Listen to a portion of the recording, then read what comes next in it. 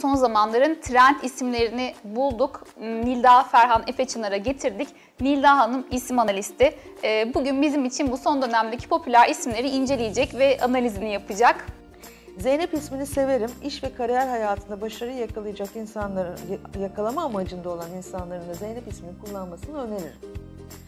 Tabii ki sorularında dediğim gibi Z, Y ve P harfleri yasaklı değilse.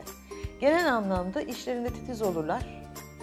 Ee, akıllıca cevaplar verir, akıllıca konuşurlar. Bilgiye önem verirler, ee, bilgiyi alır ve başkalarına da aktarırlar.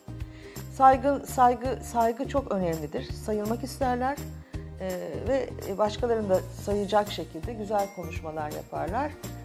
Ak- çok akıllıca adımlar atarlar Zeynepler.